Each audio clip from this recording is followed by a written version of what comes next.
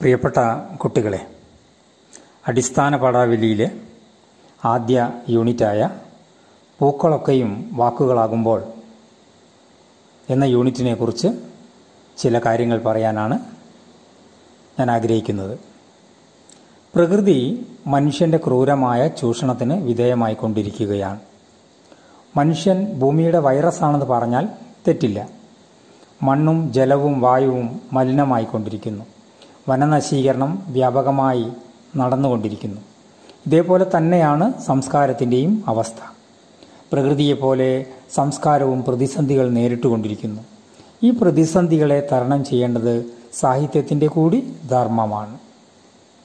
പ്രകൃതിയുടെ മനോഹരമായ പ്രതീകവും ആവിഷ്കാരവുമാണ് പൂക്കൾ. വാക്കുകളാകട്ടെ ആശയ വിനിമയത്തിന്റെ ഉപാധിയും. മനുഷ്യർക്ക് വാക്കെന്ന പോലെയാണ് പ്രകൃതിക്ക് പൂക്കൾ. പൂക്കളൊക്കെയും വാക്കുകളാകുമ്പോൾ എന്ന പ്രയോഗത്തിലൂടെ പ്രകൃതി പ്രകൃതിക്ക് പറയാനുള്ളത് സംസ്കാരത്തിന് പറയാനുള്ളത് സാഹിത്യത്തിന് പറയാനുള്ളത് എന്നൊക്കെ അർത്ഥം കൽപ്പിക്കാം. വാക്കിനും പൂവിനും ഇവിടെ സമാനതകളുണ്ട്. അടുത്തതായി യൂണിറ്റിന്റെ പ്രവേശകമായി നൽകിയിരിക്കുന്ന സുഗതകുമാരിയുടെ നിങ്ങളൻ ലോകത്തെ എന്തു ചെയ്തു എന്ന കവിതയെക്കുറിച്ച് ചില കാര്യങ്ങൾ സൂചിപ്പിക്കാം. ഈ കവിതയിൽ ഒരു തള്ളപ്പക്ഷിയെ കാണാം.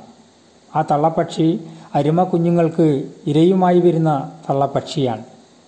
ആ പക്ഷി നടുങ്ങിക്കൊണ്ട് സങ്കടപ്പെട്ടുകൊണ്ട് നമ്മളോടൊരു ചോദ്യം ചോദിക്കുന്നുണ്ട്. നിങ്ങളൻ ലോകത്തെ എന്തു ചെയ്തു? എന്താണ് തള്ളപ്പക്ഷി ഇങ്ങനെ ചോദിക്കാൻ കാരണം? ഇരയുമായി വന്നപ്പോൾ തള്ള തള്ളക്കിളി നടുങ്ങാൻ കാരണം എന്താണ്? പക്ഷിയുടെ കുഞ്ഞുങ്ങളെ കാണാനില്ല പക്ഷിയുടെ കൂട് കാണാനില്ല കൂട് നിന്ന മരവും കാണാനില്ല. അതുകൊണ്ടാണ് പക്ഷി ഈ വിധം ചോദിക്കുന്നത്.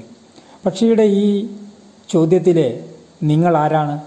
സംശയമെന്ത് നമ്മൾ തന്നെ മനുഷ്യർ. മനുഷ്യന്റെ പ്രവൃത്തികൾ പ്രകൃതിക്കും അതിലെ സകല ജീവജാലങ്ങൾക്കും ഭീഷണിയായി മാറുന്നു. യൂണിറ്റിന്റെ ആമുഖത്തിൽ ചില കാര്യങ്ങൾ ഞാൻ സൂചിപ്പിച്ചത് ഓർക്കുമല്ലോ. നിങ്ങളൻ ലോകത്തെ എന്തു ചെയ്തു എന്ന തള്ളപ്പക്ഷിയുടെ ചോദ്യത്തിന് നിങ്ങൾ നൽകുന്ന മറുപടി എന്തായിരിക്കും? ആ മറുപടി ഒരു കുറിപ്പാക്കി നോട്ടിൽ എഴുതുക അത് ഗ്രൂപ്പിൽ അയക്കാൻ മറക്കുകയും ചെയ്യരുത്.